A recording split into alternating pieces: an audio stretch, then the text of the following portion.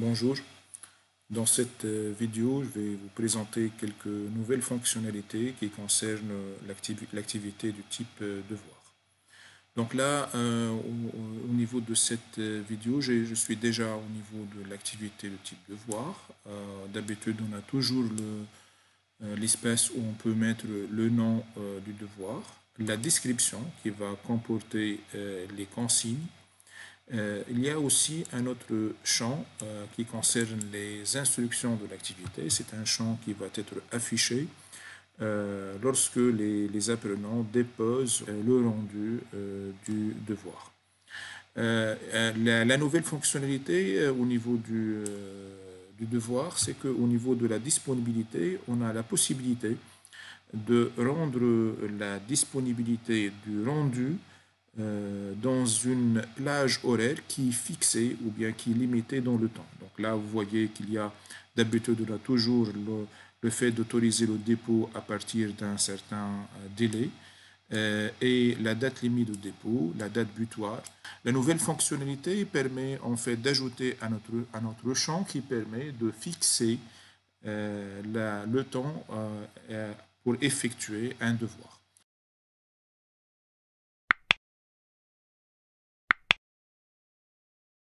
Donc pour activer cette fonctionnalité, nous allons vers le panneau d'administration de euh, la plateforme. Au niveau du panneau d'administration, nous allons chercher le, euh, le paramétrage de l'activité devoir. Donc on va aller vers euh, réglage, voilà, réglage du devoir.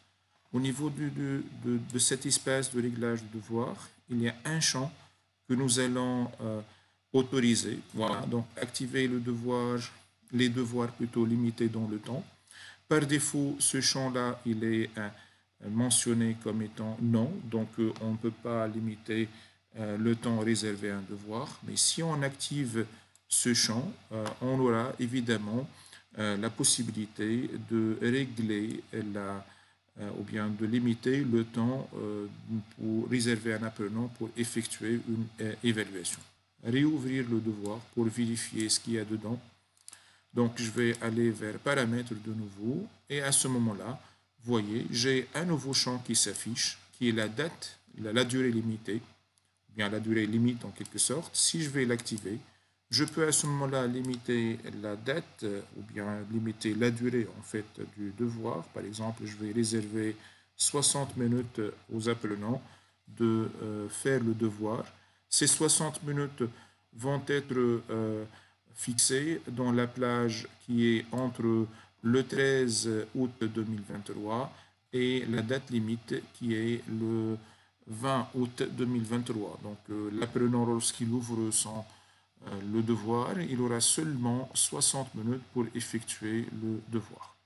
Donc on va enregistrer et nous allons voir l'affichage qui va être réservé à l'apprenant. Je vais changer mon profil. À ce moment-là, je vais revenir au devoir. Je vais commencer le devoir. Donc, les consignes qui vont être affichées, il va me dire que euh, en fait, euh, euh, il ne s'agit pas d'un travail qui, qui, est évalué parce que je n'ai pas paramétré l'évaluation. il me reste six jours, mais j'ai une heure pour faire le devoir. Je vais commencer le devoir. Et à ce moment-là, j'aurai l'affichage du temps qui va mentionner le temps restant ou bien euh, voilà, ça c'est l'objet de cette vidéo. Euh, merci de me laisser des commentaires en cas de besoin.